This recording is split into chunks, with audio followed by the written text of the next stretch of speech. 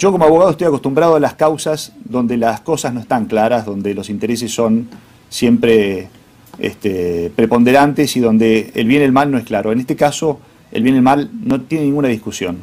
O se está del lado de las democracias republicanas, o se está del lado de la igualdad, libertad y la fraternidad, es decir, los intereses, los valores que impuso el iluminismo, o se está del lado de las dictaduras. No se puede estar de los dos lados. Por lo tanto, todos los mandatarios que no se expiden de manera clara acerca de que Nicolás Maduro usurpa el poder porque perdió una elección y que comete delitos de lesa humanidad, está siendo cómplice de una dictadura. No hay otra manera de decirlo. Muchas gracias. Eso es todo. Y lindo es, y lindo es lo que él dice, espérate, que yo le voy a dar para atrás para que ustedes escuchen aquí, cuando él dice, van a meter preso a Maduro. Criminal. En aquel momento, con motivo de la celebración de la CELAC, se había invitado a Maduro, Moros, a Ortega y a Díaz Canel, es decir, a los tres representantes en Latinoamérica de los que son las dictaduras más claras que violan sistemáticamente los derechos humanos.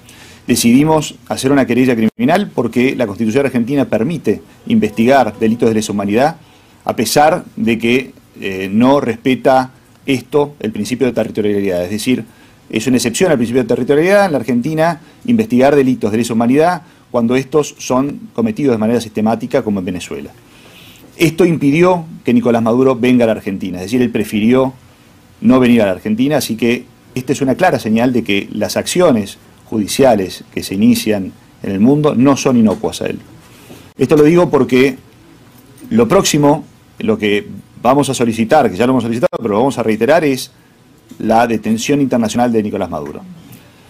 Eh, la causa hace dos años, que cuenta con muchísimos testimonios, se ha recopilado prueba que demuestra claramente cómo en Venezuela hoy se homologa cualquier acto eh, de ayuda social o político al terrorismo.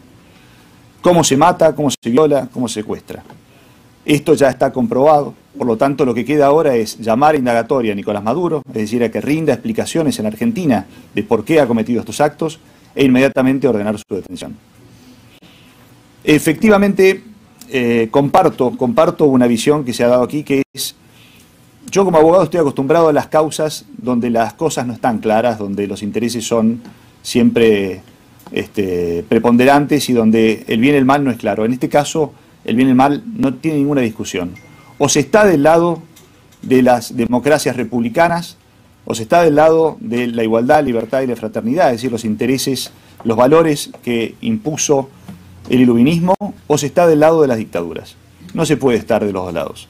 Por lo tanto, todos los mandatarios que no se expiden de manera clara acerca de que Nicolás Maduro usurpa el poder porque perdió una elección,